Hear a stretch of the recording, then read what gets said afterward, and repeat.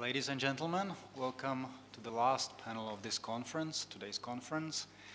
Our task, our theme is the economic potential of data, open data, that is. Uh, listening to all the stuff that has been said not only today, one might be tempted to say or to sum it up into one word, and that is huge. Uh, there are many, many sources and resources that claim pretty much the same. We have the World Economic Forum saying that open data are the next big oil or are the oil of the 21st century, to be precise.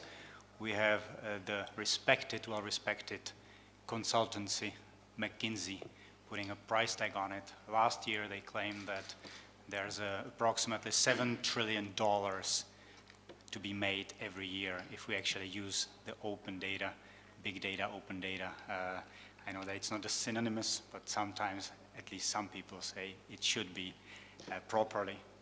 So the question is, first of all, which data should we use, which data should be open, how to open them, and obviously which data should be uh, stay closed or remain closed and secretive, if you will. And last but not least, how to tap those uh, that have an economic potential.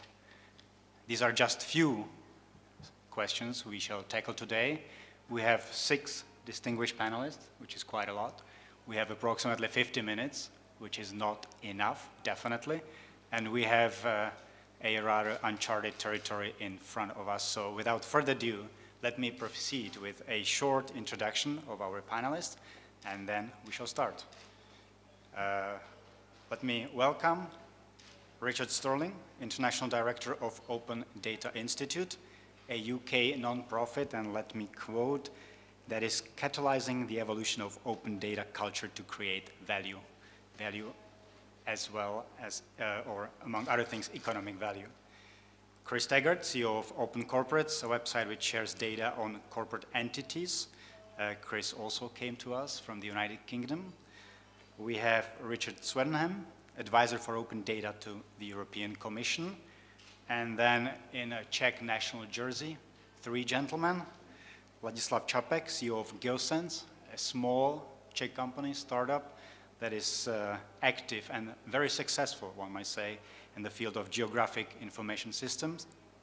We have Michal Feix, CEO of Seznam CZ. I think that nobody needs to hear any elaborate description of that particular company, but just to be fair, web portal, search engine, the big one in the Czech Republic. And last but not least, Martin Burda, uh, founder and director of investment consultancy Capital Linked. Okay, gentlemen, First, a warm-up round, one might say it. I'll ask each of you one question. I'll ask you to answer, if possible, in two, maximum three minutes, so we can actually discuss, which is, I'm pretty sure everybody is here for, or something everybody is here for. First question to you, Richard, and since we have two Richards on our panel, I'll use uh, your last name, Richard Swetenham. The European economic growth remains sluggish uh, and the prospect is not very good. So every economic potential, every new engine, or if not the whole engine, then a valve, one might say it, is rather welcomed at the moment. When we look at the data, do we know how much it can actually, or the European economy can benefit out of the data, the proper use of data? Uh, well, uh, you can uh, find quite a lot of figures about this. Uh, we uh, had one uh, study done which came up with a figure of 40 billion euros. In any case, the, the, by definition, we're talking about data which is already there, whether it's in the private sector or what I am particularly dealing with, which is the data collected by the public sector. Uh, any way that uh, this can be uh, used uh, more widely and get uh, an economic return is a chance that we have to grasp with both hands. Thank you. Just to be precise, that is 40 billion Per year or 40 Per billion year. total? Per year. Okay, excellent. Thank you. Richard Stirling, uh, a question to you. Big data are sometimes being compared to transformative technologies such as the steam engine or steam locomotive to be precise, or the radio. Uh, however, some experts say it is a new thing and quite significant, but it's not transformative or revolutionary. Uh, your take and uh, reasoning behind. Thank you. Um, so I would say that uh, it is a, a great new technology. Um, all of the examples of technology that you gave me just then were at the time looked at as niche industry. Uh, it took 20 or 30 years for the impact to be felt. Um, it feels like we're at the same type of uh, tipping point now with uh, open data and big data um, approaches in that everybody is looking at them, trying to work out what the, the size of the impact is. Every time a new consultancy comes out with a, a report, then the number gets bigger. Uh, so you can almost tell when the report was written as to how many zeros come on the end. Um, and to me, that's a sign that uh, the technology is uh, being felt in ever wider bits of the economy. You know, it's, it's spreading out. It's an enabler. It's not an end in and of itself, unless you're a particular technology company selling uh, big data or open data technologies. Um, but it is an enabler for uh, new types of products, uh, greater personalization, uh, greater tailoring, and uh, better efficiency. Um, and with open data, you see that in some of the, the, the examples that people have shown already today, uh, but you see that elsewhere in the economy. So it is a game changer, in other words. Well, I, I think so, but you know, I would say that. I'm sat in- from Right. the Open Data Institute. We'll, we'll, we'll get there. Okay.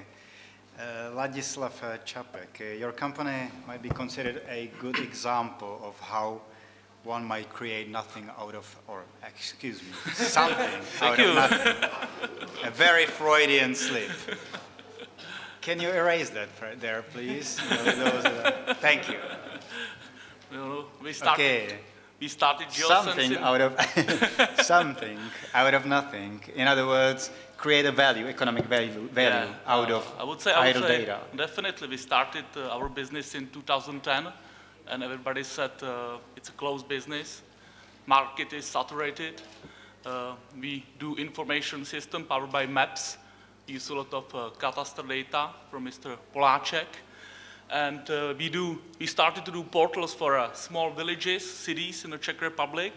And in 2010, we got like uh, two, two customers. And after two years, we were about 12, 1200 of customers in a, in a Czech Republic. What was the biggest obstacle? What was the biggest hurdle or To highest get, hurdle, if you to will? get uh, free data, open data from Cadastre Office, which are free for municipalities. And uh, later on, we got, you know, planning, zoning, utilities. We hire more people. We are about today like 30 people company. We set up office in Slovakia because if it's working in Czech, let's move somewhere else. Let's copy the model. And on the top of all those data, we create our applications. And uh, last year, we went to Silicon Valley. We set up company over there. And of course, we hire, you know, uh, quite expensive uh, developers. We create uh, new jobs for the economy.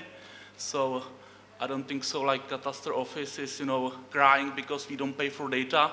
But, you know, the unemployment office is very happy because, you know, we are giving more and more work to people in a, in a Czech Republic. If I'm not mistaken, oh yeah, Mr. Polacek is still here, so you can you, you can pick it up uh, in the discussion part of uh, of uh, our panel, the, the the sort of a proverbial glove that has been thrown into the ring. Uh, Michal Feix says nam says that uh, from your perspective, big company. We've heard from the startup, small company. Uh, from your perspective, where is the potential? Where would you say is the biggest potential at the moment in the Czech Republic, in particular? Um, first of all, good afternoon. Um, it's, it's quite a hard question for the beginning, but definitely the correct answer is that there is a great potential for the Czech Republic right now, because usually it, it's quite funny. You usually need more people to get the data from the public sector than the people uh, to actually process them. That's, that's the current, current status in the Czech Republic. So unfortunately, there is not much data at the moment that you could use for, for any business potential that you might actually have. Um, we are trying to get the public transport data at the moment, which is, which is uh, quite famous story for two years already. Um, I believe after two years we are almost at the, at the, at the end uh, and successful end, fortunately, but uh, I can't imagine that uh, you would have to spend two or three years for every kind of public data that you would eventually uh, like to use for, for business or for some business purposes. So I'm quite convinced that the potential is, is, is tremendous, but uh, we have not crossed the very basic point at the moment. The public sector as a whole is, is unfortunately convinced that when you ask them for, for some data for, for your business purposes, um, they, they have a strong feeling like you are trying to steal the data from them. They, they usually don't understand that they are actually working with the data that you pay from your taxes. It doesn't matter if you're a citizen or if, you, if you're a business, um, it, it's your data actually, it's our data as a Czech business or as a Czech people. And this is, this is the breaking point. I, I, believe we have to break this point before we can describe the amount of the potential that, that's actually there. Okay, so the, the transportation, transportation data you mentioned, uh, that battle is almost over. Uh, what's the next one for you? What are we going to read about uh, tomorrow or you know next week? Well, I'm, I'm, not going to describe the whole company strategy for the next 15 years right at the, at the table, but but yes, there are definitely some some some other topics like like um, no, no, I'm not going into that. it, it, would be rather rewarding for, the, for our audience, you know. Anyway, uh, Martin Burda. Where, where do, Martin, over there, okay. Uh, from your perspective, meaning you're meeting a lot of investors, people who are looking for opportunities and are not really fixed on data per se. They just want decent return potential. Uh, are investors in the Czech Republic already interested do they see the potential in this kind of business or sector? Well, obviously, among investors, uh, uh, data analytic companies uh, are drawing huge interest. Uh, it's usually in angel investment or private investment area because there are not many publicly traded companies. It's, it's, it's a young industry, a lot of very successful startups. In the Czech Republic, we have some very successful companies. I could name Futurelytics, Brand Embassy, and uh, the most successful, obviously, uh, is Socialbakers, which was founded by, a, I think, 27-year-old entrepreneur, Jan Řezáč. You should remember that name. I mean, uh, when I was 27, I was still at school. And he built a company that quite recently got $26 million in secondary financing from a private equity fund. Uh, you know, with offices ranging from San Francisco to Hong Kong. So there are some very successful companies even in the local market. Uh, if you want to invest uh, in them, it's uh, it's uh, maybe it's potentially very attractive investment, but it's usually a private equity fund arena at this point. Are you personally investing into this kind of business or one of these types of businesses? I don't like cult stocks, so I'm not in Facebook. But no, no, I uh, I'm, I'm closer to the Buffett-like way of investing. I want to see uh, some foreseeable profits. I mean, these companies often burn money. Uh, no, no, but the, the, this is a very promising uh, area, but not many publicly traded, traded, stocks, and I'm not involved in private equity funds, so so uh, not yet. But I follow follow the uh, the industry very closely. It will be there will be some very interesting stories, and I I believe that companies like Seznam uh, will uh, in the future will be looking for successful successful startups in this area. Last but not least, Chris Taggart. Uh, Chris, so far a lot of optimism. Let's uh, try to tone it down a notch or maybe two. What are the cons, or maybe not cons, but uh, potential problems, things for, to, to look for or to be aware of, if you will, when it comes to data, economic potential, or more generally potential, and the near future? Um, my background's in the private sector. I used to be a journalist. I ran magazine companies. Um, I've only been dealing with governments for four years. Um, and uh, it's been an interesting experience, frustrating one as well. Um, I've been impressed by some enormously good people uh, that have really done a lot. Uh, but I think that the, the, one of the difficulties is that the, we're talking different languages. One of the reasons why big, big, giant companies get giant government contracts is because they talk the same language. And you know, the, the, the, one of the things is, is that, you know, governments often talk about SMEs and encouraging them, but they don't understand the opportunity cost. With small companies, it's all about opportunity cost. You know, you don't have, you know, uh, six months to be, you know, to, to be trying to, or, or three years to be trying to get the transport data. You know, you don't have, you know, the question is, what can you do today? What can you do this month? What can you going to do really quickly in order to, to, to make this happen? Uh, you know, and, and uh, uh, companies are, are, are, great about uh, innovating and, and, and getting on with things. It's only when you get to those big ones that have got big lobbying organizations, that have got big infrastructures, that actually understand how governments do business, that actually that it works on that. that those timescales actually are great if you want to kill innovation. That's why I would, you know, I, I would argue that the critical things about open data is getting on with it um, and, and, and without thinking, you know, without trying to predict what is going to be done with it. I, I strongly disagree with some of the comments on the last panel.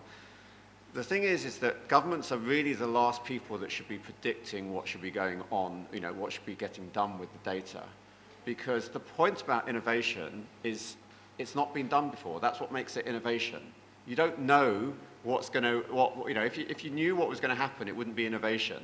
Um, if you, could if you knew it was going to be certain success, then lot, you know, everybody would be doing it. There has to be the ability for things to start, to fail, to get on with things. And the more that you make, the, the, the fewer barriers that there are, the more innovation you enable. To me, the critical thing about, it's not about open data, it's about the critical thing about closed data is, is, is and particularly data, the, the, the, this data that is sold by governments well, you wouldn't buy something if you could, you wouldn't buy something if you could get it for free.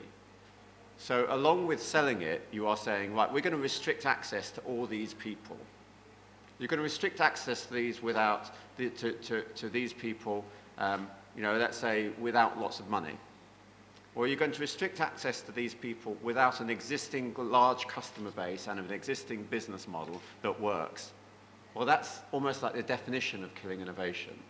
So I would, uh, you know, I, I, I really want to strongly say that I think that this is, from a, from a purely private sector point of view, from an innovator's point of view, these, these are some of the barriers that we face. We don't have time to be spending six months, 12 months, three years to be, to be engaging with government and going along to all these sorts of things and, and, uh, and doing it because we've got bills to pay. Long story short, uh, do I get it correctly? You're saying put all the data out there and let people, firms work. Is that right? I think, you know, the, the cost of getting out there is, in most cases, most of the data is, uh, is trivial. It's not that there are no costs, there are costs. There are people that have to be hired in order to just do some of these trivial jobs, they still have to be hired. Now, obviously, there is a certain amount of, private, uh, of prioritization that needs to be done, and that can be done by demand, what, what people are asking for. That doesn't mean that you, you, you, know, um, you have to go these incredibly high, uh, high, high hurdles, but, but you know, there's a, a, question of demand. Personally, I would start with those, those uh, data sets for which the government charges money. You know there's a demand for that. You know that there's a restricted audience for that that seems like a pretty good, you know, the, the, and those restricted audiences actually paying for, for exclusivity in a sense. You know, so whether it's cadastral data, whether it's uh, uh, company data, um, you know, all those sorts of ones, those, that's where I'd start. Very interesting idea. Anybody? Unfortunately, we don't have anybody on this panel, I'm afraid, who would oppose this kind of idea, or do we? Martin, you? No, well, I would not oppose it, uh, uh frankly. Then let's Yes, thank you. Thank you. Are we all off but me? Thank you. Is there somebody in the audience who would actually oppose that? just for the sake of uh, the devil's advocate being present? No? Not? Okay. All right. So I'll just finish if I may. Time to react. Yeah. Okay, Martin, you're clearly, uh, you have something uh, you need to say. So Yeah, yeah. I just wanted to uh, applaud Chris on, on, on his latest contribution because this is exactly what we should take away from this meeting. If there are any politicians here, you know, the only message they should take away, please open the data sources. There's a lot of value in it, obviously, but it's up to the private sector to discover where, where the value is. There will be a lot of trials and errors, but please don't try to show us the way.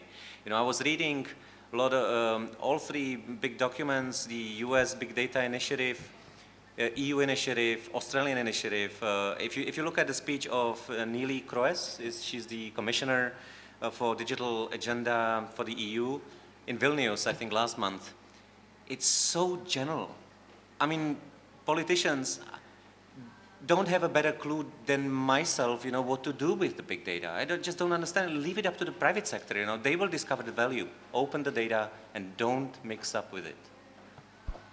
Richard, uh, and by Richard I mean Richard Swetenham, uh, what in particular, let's be concrete, what in particular would you say the European Union Commission, the institutions per se, are going to do or should do so the economy can profit out of the economic potential of data soon? Well, we're certainly not doing what the private sector is telling us not to do, which is to tell them what they uh, need. Uh, what we are doing is to put in place the um, uh, both the, the legal and the uh, practical uh, possibility for the uh, producers of the data in the public sector to uh, make this accessible and, and open. Uh, we've done this through a directive. Uh, we are providing a, a portal for uh, uh, making it easier to find uh, data. Uh, we are um, uh, providing uh, a certain amount of funding for training. We are uh, bringing people uh, together from the public sector to discuss uh, the practical issues and share experience. And the, the fact that I'm here today is just uh, one example. I mean, this is an, an excellent initiative uh, by the uh, conference organizers. And uh, what we need is to get uh, both the uh, potential users of this data, the reusers, uh, uh, to um, it's not just to work on their um, uh, on the applications, but uh, unfortunately, some of that time that they don't really have, uh, I think uh, we have to find a way of uh, sending uh, uh, messages uh, from people, I mean, if we're talking about Czech data, people in the Czech Republic, so that the politicians understand that this really is Im- important. It's something they can do something about. I say, they've already got the data. In fact, all they have to do is to stop doing something, which is to stop stopping people reusing it.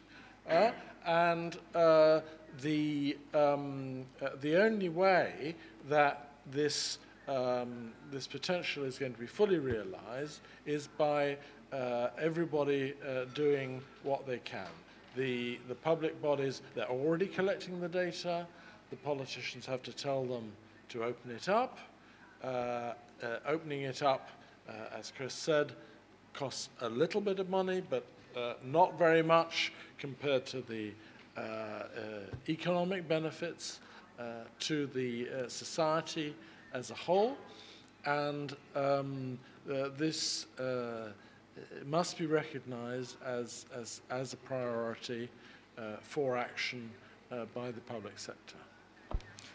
Very quick, very quick follow-up or short follow-up. Uh, first of all, where do you see the biggest uh, economic value or potential at the moment? Which data set do you like the most from this perspective, and how likely it is that we're going to see it being open soon?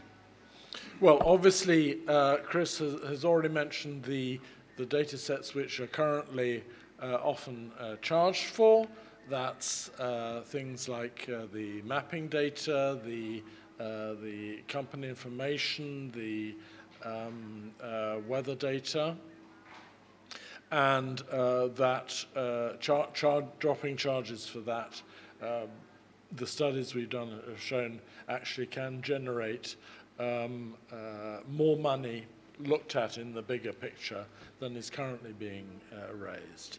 Uh, another area which is obviously of interest to everybody uh, is uh, transport data, whether it be the uh, public sector or the private sector, and, and my colleagues in Brussels work in the transport sector are, are, are looking at what we can do to um, uh, open this up from a, a, legal point of view, but the, uh, there again, if uh, to the extent that these are, are publicly owned um, organizations, uh, they really ought to be re releasing this uh, uh, data um, without anybody having to force them to do it.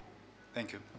Gentlemen on the panel, any other thoughts? Uh, do you feel like reacting to anything that has been said? And at the same time, I'm asking you, ladies and gentlemen in the audience, it is going to be your turn, opportunity, chance, however you want to phrase it, to ask our distinguished panelists. But first, gentlemen, anything to add to what has been said? Michal? Um, thank you. Um, there was a question, what topics are important for a company like Seznam? So uh, let me stress one important point out. Um, it's completely irrelevant which topics are important for a company like Seznam, because Seznam is not the only company in the Czech Republic, and we have not eaten all the ideas in the world, so uh, there are tons of other companies and individuals which have an idea what to potentially do with the data when they become available. So um, completely agree with what have been already said here. Um, it's not a question for the government which data should be published. All the data should be actually published. And then there are citizens and the businesses in the Czech Republic which will decide what is potentially relevant. Um, we are fighting with the recession, we are fighting with unemployment, um, we are trying to find new ways how to help businesses and how to lower the unemployment in Czech Republic or, or whole EU. And we already have the, the cure on the table. It, it's the data that we already have. There is no much more work to, to grab some other, other sources of information. We already have all the data available. We just have to make them publicly available for the businesses so they can find new ways how to create new, new services, new products, which will employ more and more people, which will help the economy and which will lower the unemployment. So I think it's quite obvious that it's, it's not that simple that I've just described. Of course, there, are, there is some work which will cost money as well to, to make the data freely available, to solve the licenses issues, to, uh, to change certain, certain laws which, which apply to the current status quo. But this, this is quite a minimal amount of work when you compare to the amount of, of income which we as a Czech Republic could have or the whole European Union can have. So I don't think there is anything to discuss. I think it's just time to start doing it and doing it well. And if you, if you forget everything what I've just said, um, which, is, which is quite possible, then you can, you can have a look at the PSI directive, which has been, which has been acknowledged, I'm not quite sure, one, one year ago or maybe, maybe two years ago, which, which actually says from, from the point of European Commission that every member state of the EU has to uh, I think the term is half of 2015, July 2015, every, every member state have to implement this directive, which actually says you have to give the public data and you have to make them usable by, in, a, in a machine usable form to the businesses and to the public. And if you don't care about the, the income for, for the Czech businesses, for the Czech Republic, for the Czech economy, it's already on the table by the European Commission, and the term is July 2015. So no, no matter actually what we think about the open data from the business perspective, it, it, it's actually not just the one issue that we should have a look at. There is another issue which is called a directive from the European Commission which just has to be implemented till July 2015. So there are at least two good reasons why we should make the data public as soon as possible. Thank you. Just two technical, rather technical points. First of all, I would say that uh, profits for Czech businesses and unemployment um, are somehow more sexy than European directive. No, no offense, Richard. And second, obviously, uh, the question that aimed at what Seznam considers interesting was, uh, let's say, powered or was inspired by the very fact that I expect Seznam to know where the potential really is. Uh, Ladislav, you wanted to add something uh, into a discussion, so it's your turn. I just wanted to say we are talking about uh, data quality, about formats, how to exchange data, but the biggest issue there are no data. So uh, I'm saying to you know to government, give me the data. I don't care about you know uh, if it's wrong or uh, you know about accuracy, precision. I will give you some feedback, but the first I need to see those data. So um, and it's generally a big difference between I would say Europe and United States.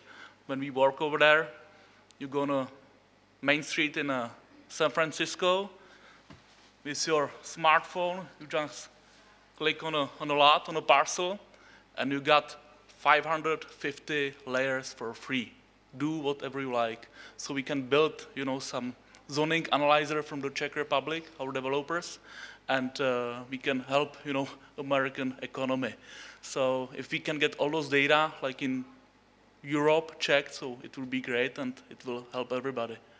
Out of a curiosity, where are we at the moment? How Uh, many that- layers? In layers? Yeah. Actually, we can ask Eliška from the city of Prague if there are any free layers. I mean, it's, it's getting better. I'm very optimistic. And uh, you can get some free services, but still not uh, free data. So you have to pay for it. Sometimes it's just, you know, some funny, funny fee, which is few crowns. So it's more administration, but uh, yeah, we are moving, moving forward, but it's still a lot of hard, hard work. So I believe there are some politicians still around. So give us free data, and we will give you high employment. Michael, you wanted to add something. Um, I- I have to say I usually agree with Ladislav, but with all due respect, um, I don't, I can't agree with with the thesis that, um, hello government, just give us any data. We don't care if they are correct or not. Um, just let's let's make that uh, checkpoint that we we have given some data and it's done already. No, no, please don't. Um, there is already many bad examples with with uh, with uh, such an attitude. Um, I have a one very very late one uh, from yesterday um, when the European Parliament's been discussing the data protection regulation um, and um, I was sitting in Prague. I was trying to to find some information how how's the how, how's the real thing going on. Um, and uh, on Wednesday, I was trying to access the EU website to find some information regarding the, the, the votes on, on the topic of data regulation. And there are all the paraxes on the EU websites that say we are transparent, we are giving all the data that you can have, and uh, here is a search form, you can just enter what you like and we will give you the document. So I was trying to find all the documents from, from the last few days regarding the data protection and uh, all the results, all the links were actually going to, to file not found uh, error pages which are completely useless to you. So um, maybe it was just a temporary problem. Unfortunately, two hours ago I was trying it again and it still made the same error. So, so I don't know how, how long it will take the, the guys which are responsible for the EU website to fix this. But this is, this is the other point. When, when you give some data and you don't make a relevant attempt to make them correct and to make them accessible to anyone who is trying to use the data, then you will actually make the thing worse because this is exactly the attitude that you don't want to have regarding the open data. You don't want people to have the feeling like, okay, so what's the open data for? If I try to use them, I, I can't find the information that I'm looking for. So, so the final attitude which is inside you after such, such, uh, such an attempt is, okay, it's, it, it's nothing usable. It, it's actually not working. And this is, this is the strong point. I believe that when we are trying to give the data public, we should stress that the data that we are giving has to be valid and they have to be accessible. And if that means that we'll have to make smaller steps at the beginning, just to not, just to have as, as, as less errors as possible, then I believe this is the correct way. I, I think it's a wrong, it's a wrong way to, to make, make errors by the way and to make many of them and trying to say, okay, we are just, we are just public, so, so please excuse. Thank you. Any questions, ladies and gentlemen? One question over there.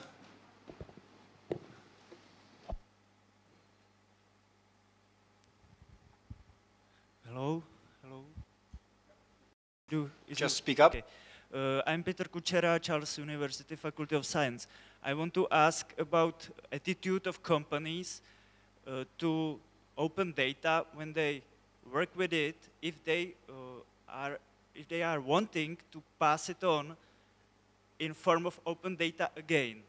Uh, uh, I mean, a, as an example can be uh, data on usage of search engines or data on usage of people searching transportation data. I think from my scientific point of view, that such an insight on how people use services built on open data itself has a value as an open data. So how are companies wanting to share this? Thank you. Very good question. Thank you very much indeed. Uh, gentlemen from the UK, first I would like to ask for your perspective or your take on this particular issue. Meaning it's nice uh, to fight for an open data if you're a company, you're going to make a lot of money out of it, but uh, shouldn't you give something in return? Who's going to take it first? Okay, Chris. Well, what, what, what makes OpenCorporates unique um, is that we not only pull data from company registers around the world, but also from others, uh, you know, and, many other sources now, hundreds, thousands, you know, soon to be thousands of different sources. Um, but we also make that data available to, to other people. It's there, on, not just there on the website freely. Uh, we, we, uh, we make, uh, to the extent that we have rights, from cleaning it up and, and doing things with it, we make those rights available under a share-alike attribution license. We have an API. If you're going to be publishing more data, if you're going to incorporate this into an open data data set, then you can just get an API key and do that. And uh, uh, and we, our business model is that, that people who want to keep this private and put, or mix it into proprietary data sets, um, that, they, that they have to uh, pay for the privilege of doing that so that they, they contribute back to the open data community. Now, that gives two, two advantages. One is that this creates a, a commons of, of, of company data, and, uh, and, and as companies will start to add information about themselves, that's going to be really important that that is a commons. But the other thing is, is that we can do something, and it was mentioned, I think, by um, uh, uh, uh, this, uh, this afternoon about the, the issue of, uh, of provenance. What we can do is we can say, we got this information from this place on this date, from this company register, and so on.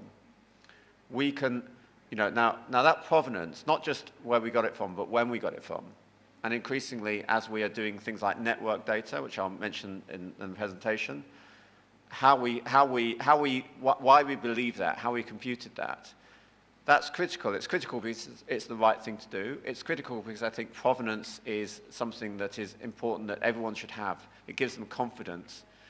Uh, it also means, and this is why proprietary providers don't do this, because they don't want you to know where they got the data from, either because you might go get it yourself and cut them out of the equation because they're not really adding value. They're just, you know, uh, uh, rent seeking. Uh, and the second reason is, is sometimes they get it from extremely dubious sources and you wouldn't have confidence in it. But we think that's really important, not just because it gives you confidence in it and allows you to go and do the same thing that we've done. So we're not, it's not about a, a, a it's about genuine adding value. But the second thing is, is that this is context. This, this provenance is the context if we're saying something and it was a, and it was a, a day ago, or we're something and it was three and it was retrieved three years ago, then that's that's actually really quite different types of data. If it comes from this government data source or that government data source, different types of data. That provenance turns out to actually be really important when you're doing modeling, when you're doing all sorts of stuff. I hope that there will be many more companies like us that will be saying what we're going to be doing is we're going to be, you know, it, it, we're going to be not just we're going to be opening up our, you know, opening up the data and allow other other people to do it. Uh, maybe the, we're, we're, maybe we are fairly unique. I hope not, but I think it's I, I, think we have a responsibility, and actually I think it's good business as well because um, uh, th then people will be more confident knowing that we're both in terms of we're adding value and, and when they are contributing through crowdsourcing or other things, they'll be confident knowing that they're, they're contributing to an open uh, data source. Thank you, Chris. Richard.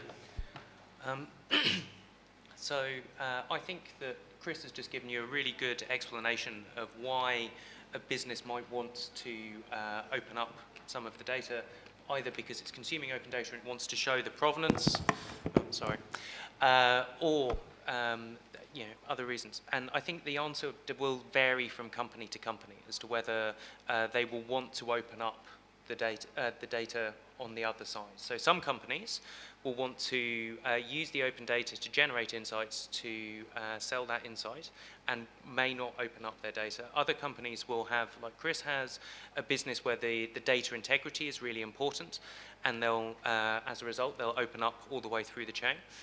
Other companies uh, may not be consuming open data, but might open up some of their data anyway. Um, you know, we're, we're working with some of the, the companies in our, our membership around, uh, or sort of through that challenge, and uh, in areas where they might want to open up.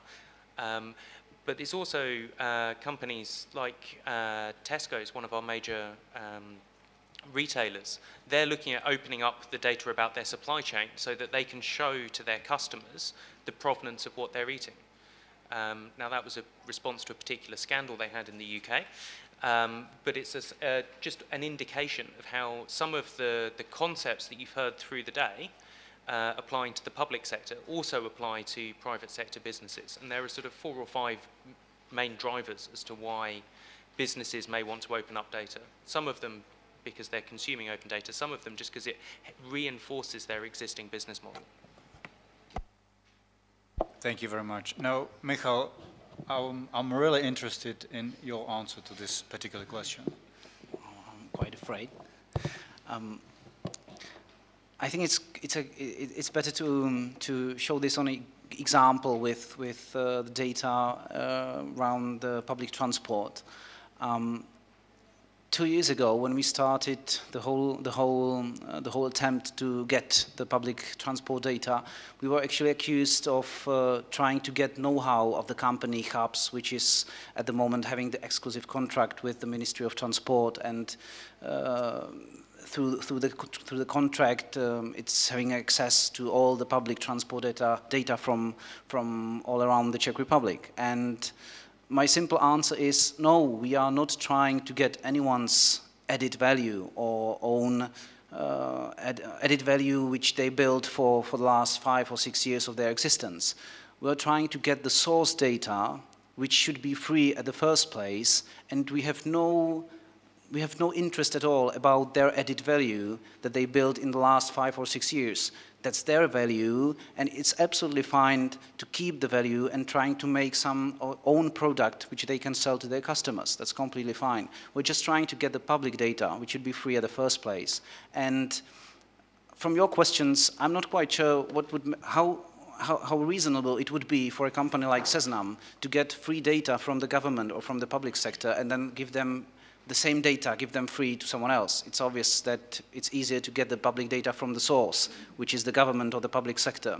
And if someone would ask, is Seznam willing to give the data with the added value that the Seznam would give to the data in, say, for example, one or two years of, of processing them, then I say, this doesn't make sense. It's the same story regarding Seznam and CHAPS. We don't want their added value.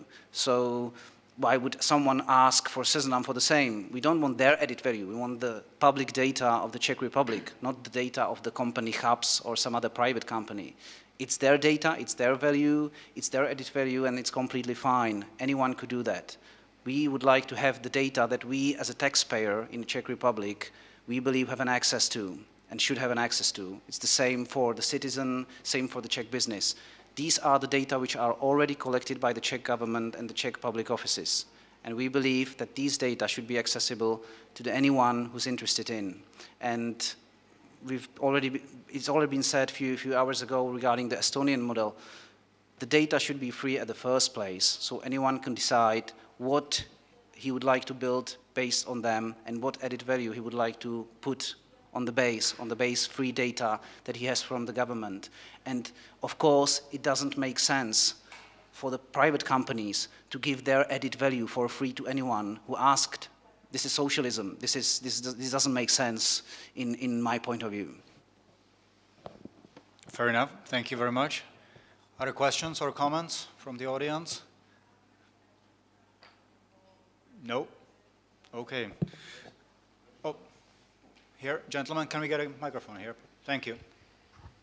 Uh, I've got a question for the Richard uh. Uh, my question is, uh, Richard, uh, are there on a level of European Commission any pressure for the standardization uh, of the data sets?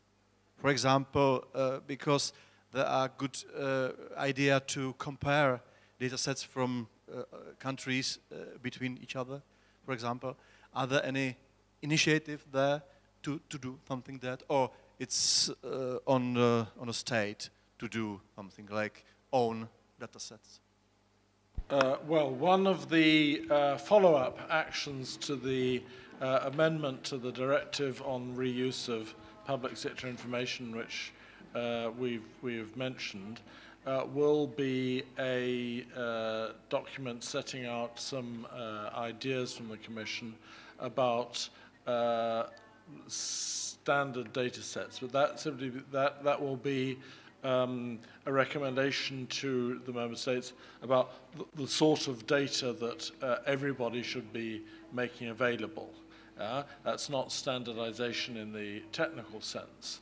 Uh, another action which will, uh, I think, uh, feed through into the process of uh, exactly what is the content of the data sets that you can get at and, and how is it formatted and, and presented uh, will be the, um, uh, the portal, uh, the pan-European portal, which already exists uh, as a uh, part of a research project. And it's called publicdata.eu. and obviously, if you are part of a portal, um, uh, if you are actively taking part uh, in the sense that you have decided to provide your data, uh, there, there is a certain degree of harmonization uh, that will occur because uh, that means the portal works, uh, works better. Thank you. One more question? And one more, and that is going to be it for today, unfortunately. I Time is not our friend. I would like just to remind what uh, had been said about DEF at uh, the end of the last session. Because, especially in this question uh, regarding harmonization, it would be very useful if politicians comes to statisticians. Because uh, we, uh, I think that we reached very high level of uh, harmonization on European level among statistical offices. And I think that it could be good to listen to us before you uh, accept any important uh, resolution. Thank you. Thank you. I believe you're from a statistical bureau. thank you for your comment. And one more question or comment over there. Okay, thank you. Uh, my name is Peter Čermák from Asseco company. I would like just react on uh, your response regarding open data which would be provided from businesses as a social approach. Strictly don't agree and I hope that uh, our partners from UK confirm that there are plenty of businesses who are deliberately post, uh, provide their data to the public because just of marketing purposes, you know, that nothing doing with socialism. That's, that's just intention this doesn't harm their business and they, they do it completely freely. So just point for discussion. It's all about the business model, obviously. Thank you very much for your comment. I think that that's uh, a theme for uh, our next year's conference. Hopefully we're going to see each other in 365 or maybe sooner. Now, my last question to all of you, and I will ask for a very short answer, gentlemen. I love to tease economists uh, and ask them to pull their uh, crystal ball and tell me what is going to happen. I am not going to ask you what is going to happen. I'm going to ask you what you recommend should happen in the near future so your businesses or the sector itself is going to improve, meaning we're going to get some value out of the data, or data, sorry. Uh, and let's just do it one by one. Ladislav, uh, your turn. Okay. I just believe we will get more, more data sets, so we will hire more people. It's quite easy. we get some cadastral data. We get a lot of mapping data. So we are waiting for some agriculture, forestry, so uh, we can create more applications, help more people. So, uh, you know, world will be happier. Thanks. yeah. Uh, so for me, what I'd like to see is uh, a presumption in favor of open. I'd like to see uh, data published uh, reliably uh, with clear data standards, so uh, possibly around open data certificates. And I'd like to see government starting to use some of the data services that are coming out and making it easy to do business. And finally, I'd like to see uh, the governments uh, reinvesting in the success of the, the sector. So if this turns out to be the fantastic new shift, then I'd like to see governments sort of continuing to think about how they can do more. Um, from, from my point of view, um, I, I, believe that we need some real help from the government and from the politicians to open the data. That has two levels. The European level, which is very relevant to Czech Republic as well. We are not isolated. We, we have to look at the EU as well. So I'm willing there will be more data opening regulations than data protection regulations and, and similar hell on earth. So that's my first, first, uh, first wish and expectation. And from the government, from the Czech point of view, from the Czech government, um, I would like to see a similar approach as the UK did. Um, I'm afraid that without a foresee from, from the Prime Minister office or from, from the Prime Minister himself, there is no clear solution for the current state of, of data, data, data openings issues.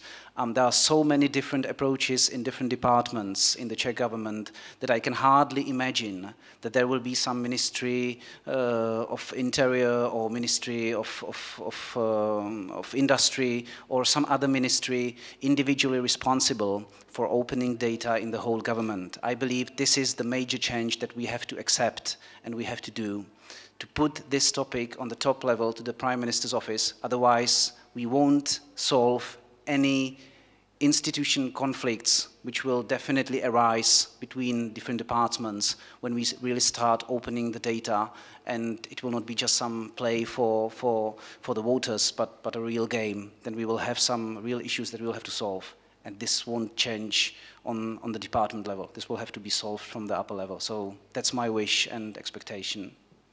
Thank you. Chris? Um, so for, for governments, I'd like governments to, I mean, of course, governments aren't, aren't single entities. There are many different entities with different interests. We have lots of people in government coming to us uh, and saying, we really would like to have this company register open, but, but it's, it's not, and, uh, uh, and can you help us with this? Um, uh, and it's a different department. Um, but one of the things I think uh, I'd like governments to start to, to, to, instead of asking what are the costs and benefits of open data, to be asking themselves the opposite question. Let's supposing it's, it's, it's open, it's not going to cost very much, now do a cost-benefit analysis of how much it would, uh, how much, what would be lost by, and how much would cost the, the, the country, the industry, uh, ordinary people their lives by making it closed. Because that's really what's happened. You know, it always used to be open, it was always on paper and open. Since it's been digital, it's been closed down. So one is governments should, should, should ask themselves, what are the benefits what are the actual benefits to our society, our country, to anti-corruption, to all these sorts of things by making it closed? To the, to the Czech uh, society, uh, you know, and anyone that wants to do this stuff, get good at scraping. You know, uh, ask, ask forgiveness, not permission. You know, uh, build stuff with the data. Product beats policy every single time. You know, you can spend six months, a year, two years trying to convince people, and then you know, just, you've got that far, that close to convincing them, and then they move the job, and someone else comes in, and you have to start all over again build some, build some cool stuff with some data that you, you, you've taken from the government, and, uh, and that's a much better way of, uh, uh, of convincing them. And finally, I mean, from OpenCorporates' point of view, we're, we're now moving away from, not moving away from, because it's our core thing about just company register data, we're now looking at, at all sorts of other public data, banking licenses, for example, government gazettes that relate to, to, to, to companies, and, and, and pulling that and cleaning up and that, matching that to it. And I think that's going to be really transformative and actually going to start encouraging companies to, to, to be, uh, you know, uh, what, um, Robert Hunter at the World Bank called um, uh, radical trans radically transparent. You know, what can we do? How can we, let's, let's assume transparency. How can we make this work for us from a business point of view? How can we build this into our business model and get a competitive march on, our, you know, uh, on, on the uh, other players in this market? Thanks. Thank you. Richard. Well, obviously the, um, the there's a still uh, a lot to be done, uh, and the uh, governments and, and public bodies uh, have really got to uh, see that uh, opening up their data is actually beneficial, not I mean, not just uh, to citizens in general, but also to the uh, public bodies themselves. Thank you very much, and thank you for being short on time. Martin. uh, Rovana, there are two things, the, the, wish and the crystal ball. So the wish would obviously be that uh, the European Commission takes this as a unique opportunity to really do what its purpose is, you know, to create a free and transparent environment for all of us, to live our lives and do our business as we like, you know, just to open the environment and to resist any temptation to find reasons which data should not be released or how we should use it, just to resist the temptation, just to open the environment.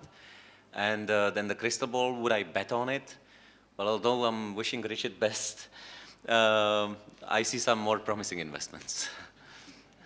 The, econ the economist has spoken. Martin Burda, Capital Linked, Richard Swetenham, advisor for open data to the European Commission. Then we have Chris Taggart, CEO of OpenCorporates. To my right, Michal Feix, CEO of Seznam CZ. Then there is, who's there? Richard Stirling. Sorry about it.